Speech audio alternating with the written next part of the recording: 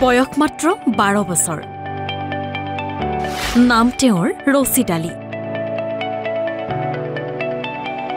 ৰচিদৰ দুভৰি যাদুত মুগ্ধ John Abraham.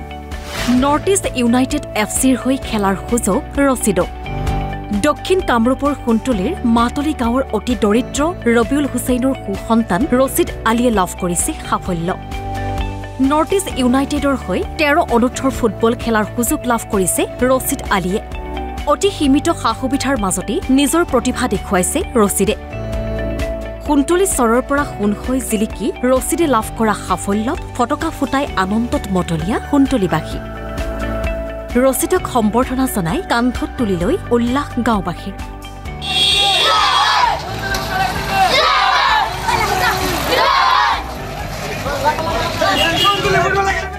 সোণতলীৰ ফুটবল একাডেমীত প্ৰশিক্ষণ গ্ৰহণ কৰা ৰচিদ আলীৰ সাফল্যত উৎফুল্লিত একাডেমী কৰ্তৃপক্ষইও আহ, তাৰমানে আমাৰ নৰ্থ ইষ্ট ইউনাইটেড এফ চিৰ আণ্ডাৰ থাৰ্টিন কেটেগৰী আমাৰ তিনিজন ল'ৰা প্ৰথম প্ৰাইমেৰী চিলেকশ্যন পাইছিলে আমাৰ আছলাম মুনু আৰু আমাৰ ৰচিদে কিন্তু আজি সিহঁতৰ ফাইনেল ট্ৰায়েল আছিলে আৰু সেই ফাইনেল ট্ৰায়েলত আমাৰ সোণতলী ফুটবল একাডেমীৰ পৰা সাত হাজাৰজন মানে প্লেয়াৰৰ ভিতৰত আমাৰ এই ৰচিদে নিজৰ স্থান সুৰক্ষিত কৰিছে।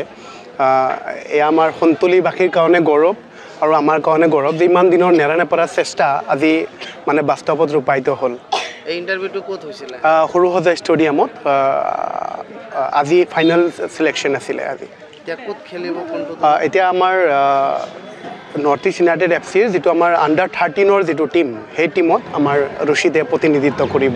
তিনি বছৰ ধৰি চেষ্টা অব্যাহত ৰাখিছিলোঁ যে আমাৰ এই আহ, সোণতলীৰ পৰা কোনোবা এজন খেলুৱৈ আমাৰ আন্তঃৰাষ্ট্ৰীয় পৰ্যায়ত বা আহ, জিলা ভিত্তিকত স্থান লাভ কৰিব। এয়া আমাৰ কাৰণে গৌৰৱৰ কথা।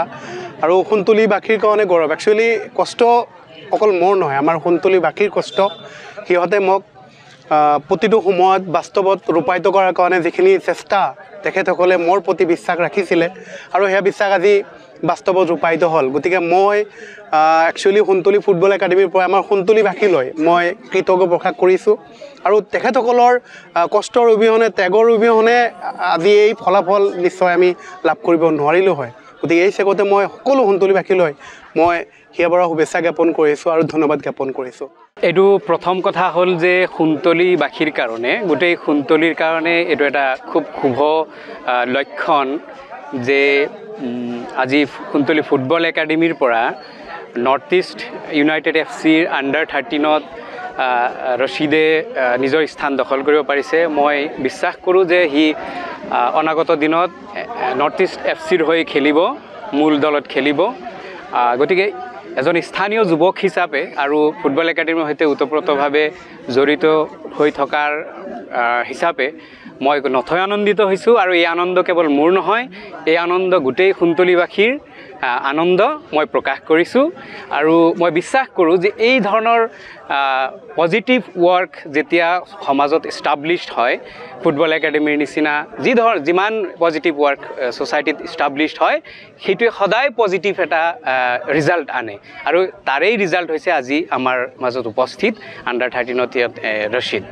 গতিকে এইটো আমাৰ কাৰণে অতি উৎসাহজনক। আৰু মই এটা কথা ইয়াতে উনুকিয়াব বিচাৰিম যে আমি কোনো আজি আজিকালি আমি খুব সততেই মানুহে কি কয় দোষাৰোপ কৰা দেখোঁ যে যুৱ প্ৰজন্মক দোষাৰোপ কৰি থাকে তেওঁলোক মাদক দ্ৰব্যত আসক্ত হৈছে।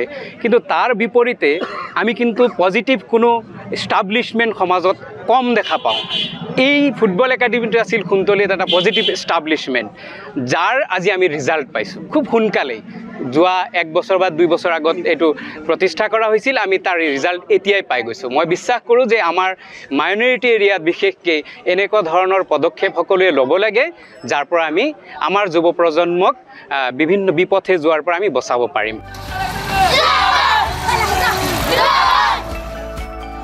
সোণতলীৰ পৰা Nayan Ali Assam live twenty four